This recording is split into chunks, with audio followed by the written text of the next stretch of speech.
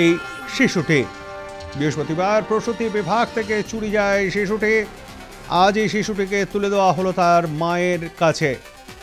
শিশু চুরির অভিযোগে গ্রেপ্তার দুই বিস্তারিত জানব। আমাদের সঙ্গে রয়েছেন আমাদের প্রতিনিধি উৎপল পোতার উৎপল, এই শিশু যে চুরি করার অভিযোগে দুজনকে গ্রেপ্তার করা হয়েছে, মূলত তাদেরকে জেরা করে কি জানা গেছে? কি উদ্দেশ্যে তারা শিশু চুরি করেছিল? দেখো, যেটা এখনও পর্যন্ত জানা গেছে যে অন্ধু বলে যে মেয়েটি রয়েছে, সে নিঃসন্তান ছিল এবং সেই কারণেই তারা শিশুটি মা ও মেয়ে মিলে চুরিটি, চুরি করেছিল।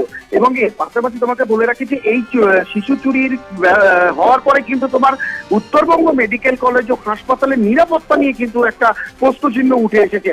আজ তোমার এই শিশুকে উদ্ধার করার পর তাকে বিশেষ চিকিৎসা ব্যবস্থার মধ্যে রাখা হয়, এরপর তাকে তার মায়ের কাছে তুলে দেওয়া হয়।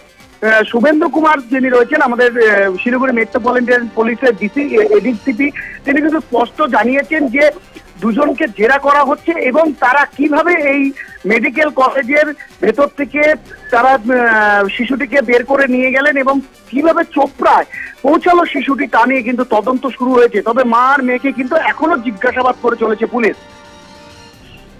ধন্যবাদ আমাদের সঙ্গে থাকবার জন্য। উৎপল কথা বলছিলাম আমাদের প্রতিনিধি উৎপল পোতারের সঙ্গে।